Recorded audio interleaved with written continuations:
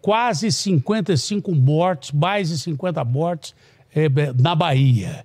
Guerra entre o crime organizado, bala para todo lado, morte para todo lado. Lucas conta a primeira e depois temos a segunda reportagem aí. São duas reportagens de mais de 50 mortes na nossa linda Bahia por, com guerra do crime organizado. Se eles matarem-se entre eles mesmos, tô nem aí, né? não vou acender vela para criminoso é, é, que se mata entre eles mesmos. Só que matam gente inocente no meio do caminho. Põe na tela, Cláudio. Moradores da periferia de Salvador foram acordados ao som da violência. O tiroteio foi no bairro Vale das Pedrinhas, que teve o policiamento reforçado, mas quando as equipes chegaram, foram recebidas a bala. Matou alguém, velho. O transporte público teve que ser remanejado para não passar por ali, à noite e também durante a manhã. Os criminosos que atiraram na polícia não foram encontrados.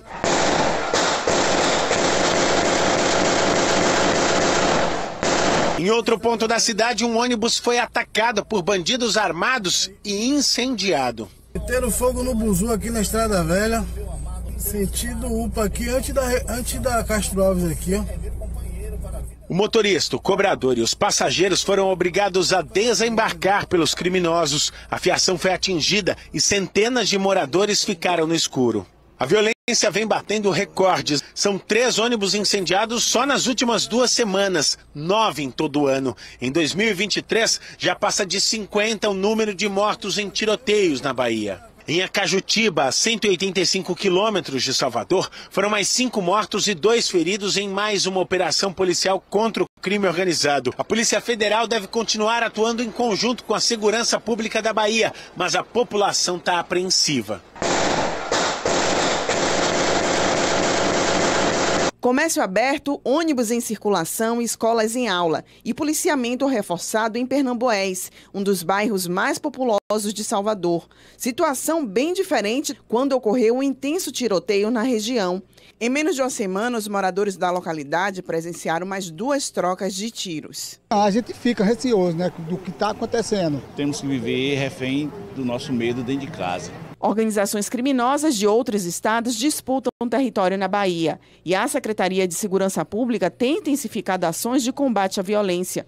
Na zona rural de Campo Formoso, cinco integrantes de uma família foram presos suspeitos de tráfico de drogas. Com um grupo autuado em flagrante, foram apreendidas armas, drogas, munições e uma quantia em dinheiro. Nas redes sociais do Ministério da Justiça foi anunciada a parceria com o governo do estado para ampliação de recursos destinados à compra de equipamentos e tecnologias que serão utilizadas nas operações policiais e no combate ao crime organizado.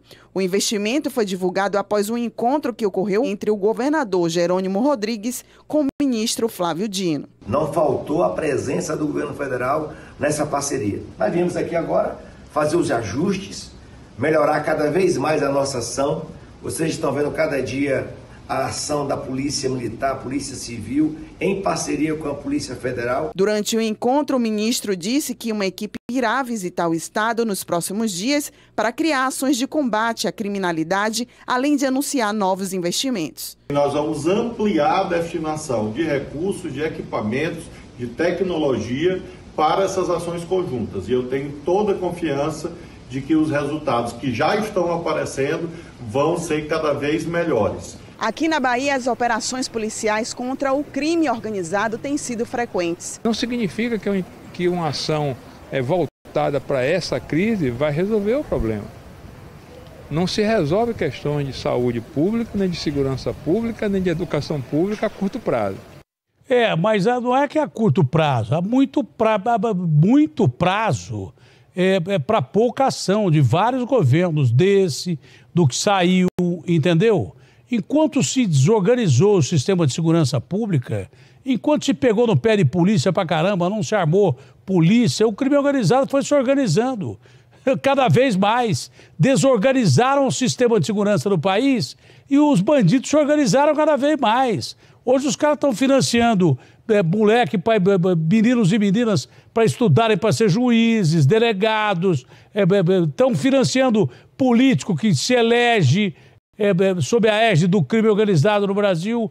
E o sistema de segurança, que papo furado é esse que não se resolve de uma hora para outra? Ah, não se resolve de uma hora para outra. Faz 100 anos que vocês estão tentando é, é, acabar com o crime organizado ou, ou minimizar o crime organizado, mas vocês não governam. Esse governo que passou, o outro lá de trás. Vocês fazem política, governar que é bom para combater bandido, combater gente que mata, combater gente que rouba, combater para gente que organiza crime, isso vocês não fazem. Vocês fazem política, governar não. Ah, não, porque a curto prazo a gente não consegue resolver a saúde e nem a segurança pública.